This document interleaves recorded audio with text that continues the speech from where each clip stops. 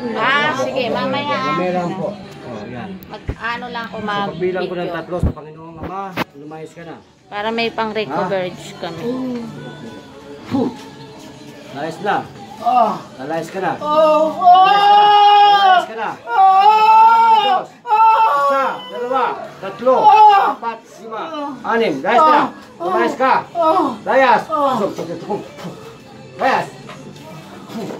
Balik. Pangalan ito. Pangalan. Pangalan. Lawrence. Balik. Yeah. Lawrence, ikaw na yan? Okay. Diba? Ah. Kita po ninyo ang kapangyarihan ng Panginoon. I am a born, born again Christian. I can heal any kind of evil uh, sickness. No? Ito pong kapatid ko ay isang uh, Kasi kung wala kang body, hindi yan pabalik-balik ang ano mo. Ah, may bati po to. Tao po to, kaya hindi siya makano. Okay na po. Okay. Ano lang ako nung ano. Diyan ka lang, imamassage ka.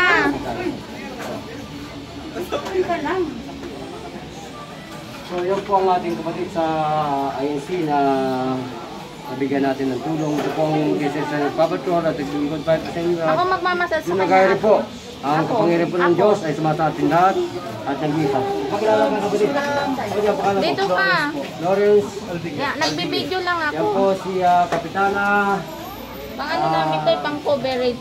Abigail. Kala po. Ayan. Ah, salamat Kapitana. At ang inyong pong lingkod ay nagbibigay po kayo po sa paglilingkod ng pagsuka. Papator at lingkod rin po, John Kairi. This is MK Sutante at DWB at Colbert. Colbert. Gracias, Radio po. Salute, Philippines. Gracias.